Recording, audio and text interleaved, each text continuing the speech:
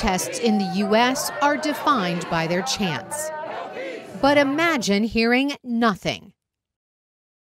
This is reality for the deaf. But not today. Volunteer interpreters are explaining everything through sign language. You know, I've seen police brutality, and my family has been through that themselves, and I experienced it as a black person. I'm an interpreter myself, so I want to make sure that I can tell that story and provide uh, that culture. Here's how it works a hearing person listens to the day's schedule.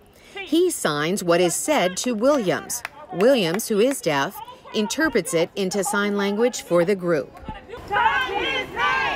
So their protest march begins with a unique chant that turns heads. George Floyd is the black man who died in police custody. His death sparked nationwide protests.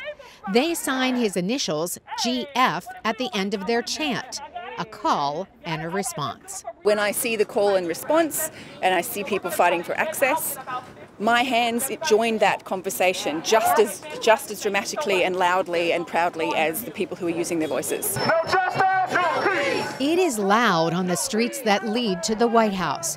Friday, the Washington, D.C. mayor renamed this area to Black Lives Matter Plaza. Volunteers painted the words in enormous yellow letters that stretched for three blocks. A heavy reinforced fence separates protesters from the White House complex. Police are absent, except to barricade streets. It is the largest protest in Washington of the past six days, peaceful and diverse. The deaf are here with the black, indigenous people of color with disabilities. Many have higher risks for the coronavirus.